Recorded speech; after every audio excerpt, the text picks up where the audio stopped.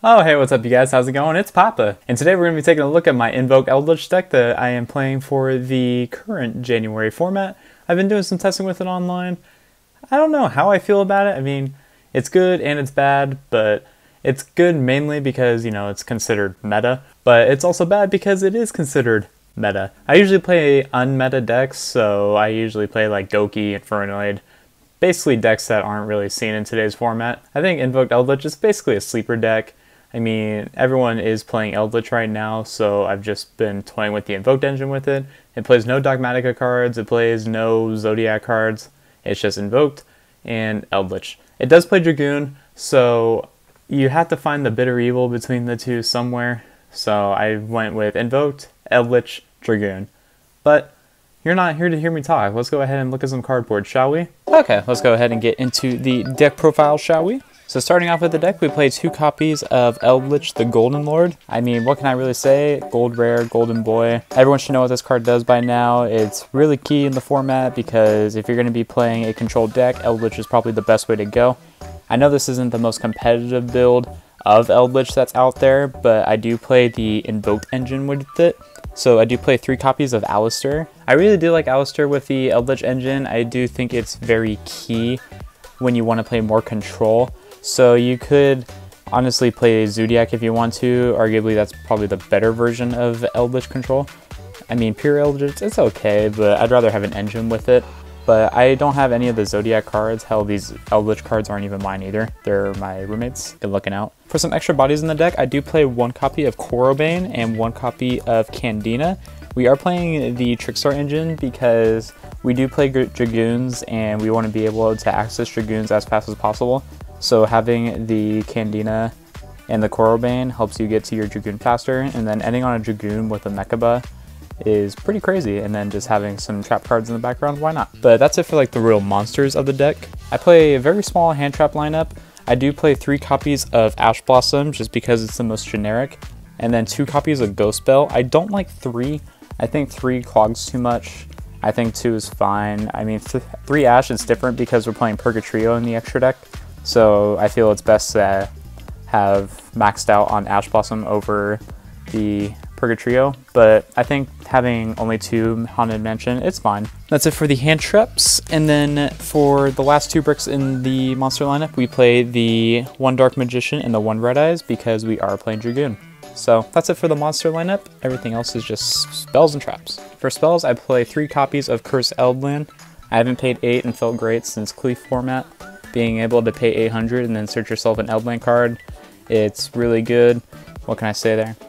And then one copy of Light Stage because we want to be able to access our Trickstar engine. And then Light Stage going second just locks out back row, prevents you prevents your opponent from activating cards like Solemn Strike, Torrential Tribute, or even Eldlich cards, depending on what you're playing against. And then for the other field spells, I play three copies of Magical Meltdown because we're trying to get to Aleister and we don't want our fusion summons to go uninterrupted. So three meltdown for that.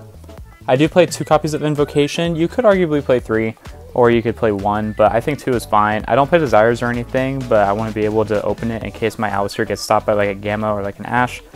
Whatever it may be, I want to be sure to end on a Mechaba turn one as much as possible, so having the Invocation helps there. And then fun fact, if you open up Red Eyes or Dark Magician, you can you can Invocation for Dragoon because it does act as a poly. And then the last two of spells, I play two copies of Cosmic Cyclone. I mean, it should be pretty self-explanatory why I'm playing Cyclone. It's very key in the format because we are in a much slower format and having the Cyclones to get rid of pesky back row. And then I only play two one-up spells. I play the one Terraforming and the one Red Eyes Fusion. I don't play the Elixir spell. I don't have it, but Honestly, I haven't missed it too much. You could get away with playing it if you want. This card is, or this deck is already 41 cards, I believe, if I'm not mistaken. Either 41 or 40. But if you want to play the Eldlixir spell, then you can. I just don't have it, and it's all self-preference. Yeah, guys, that's the spell lineup. For traps, we play three copies of Elixir of Sanguine because we're trying to summon out our Golden Boy. Three copies of Conquistador because I heard Dryden is a pretty cool card and only two Huaquero. You see this in a lot of people's decks. I mean, you could play three if you want. I just think the two is fine. And then the last two traps I play in the deck, I do play two copies of Solemn Strike, the best card going first and going second. But yeah, guys, that's it for the main deck. Sorry, I lied. That's not it for the main deck. The last three traps I played in the deck was three copies of Needle Ceiling. Yeah, I played three copies of Needle Ceiling. I just forgot to put it in the bottom of my deck because it was feeling kind of low. But yeah, this is the 38th, 39th, and 40 card. You could do Torrential, you could do Imperm. I just like Needle Ceiling because it catches everyone off guard. But it's all self-preference, and yeah, that's really it. So moving on to the extra deck. For the extra deck, I play two copies of Invoked Mechaba. Shouldn't come as a surprise. You don't need three. You could play three if you want. There's some room in the extra deck because I'm missing a couple cards, but I don't like proxying, and I know a lot of people don't like seeing proxied cards in deck profiles, so I don't want to be that person. So two is fine. Uh, one Invoked Purgatrio because it's just not worthy playing multiple copies of it.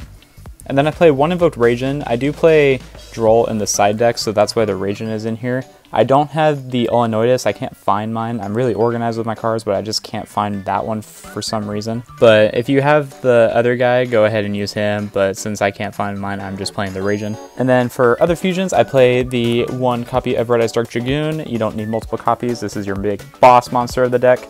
So one Dragoon. And then I play some Dogmatika targets. I play the Entis with the Nova. Shouldn't really come as a surprise why I played these two. I mean, when you send your Entis, you get a pop, and then your Nova will go ahead and summon out your Mechaba, and then you just have a free negate. And then I do play Constellar Pleiades because I do get into those situations where I have multiple trap cards out, or trap monsters out on the field, and then you just overlay for Pleiades. It's a really good card. I don't get why a lot of people aren't playing this anymore in their Eldlich decks because this card's really good. And then I play the Link Spider because everything's normal, or your Eldlich trap cards are normal. I play the one copy of Artemis. This is the new one card Mechaba combo. You just link your Aleister off into the Magistus and then you have your Mechaba from there. So playing her, she's alright. I kind of missed the other two, but she's good. And then one Anaconda because we're playing Dragoon. Uh, one Phoenix and Unicorn for stability. I mean, they're the best generic links in the game probably. And then I play the one copy of Access Code Talker as well. And this is debatable, you don't need to play this, but I play a Borrelsword Dragon. I just like having multiple outs in the extra deck for certain cards, and I think Borrelsword is just better. I was debating this and Load. If you have the tanks, like the uh, Gustav Max and the other guy, I'd suggest playing those. But since I don't have those, I'm just playing the Borrelsword because, again, I don't want to proxy cards. And it's been working out really well online.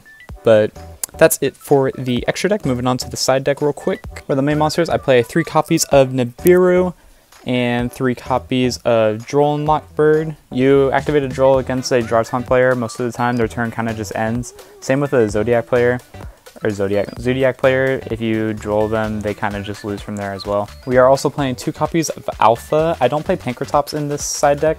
I just think the two Alpha is fine. I do like the versatility between the two cards, but I just think having the alpha is good. I didn't have a lot of space in the side deck anyway for cards that I wanted to play. Debatably, you could take out Droll and play some other cards that you want, like maybe Torrential, maybe um, Joel, or not Joel Mopper, maybe Pankratops, but it's all self-preference. For spells, I play one Harpy's Feather Duster because back row sucks, and three copies of Book of Moon.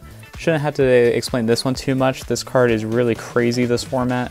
Being able to stop Zoodiac from comboing off, and then Hell, you could stop Drytron, you could stop basically whatever. I mean, it's not once per turn, and this card's just iconic. And the last three cards I play in the deck is three copies of Infinite Impermanence, because sometimes you just want that extra negation. But yeah, guys, that's it for the deck profile. And yeah, guys, that's it. So thank you for looking at this video. I hope you enjoyed this video. It is something different. It is like kind of more on the meta side. I am missing cards like Lightning Storm, cards like Ice Dragon's Prison, and like evenly match, I guess, and droplets. I don't have any of those cards. I don't plan on getting any of them until we resume regular play. They're just a little more on the price side, and I'm not down for that.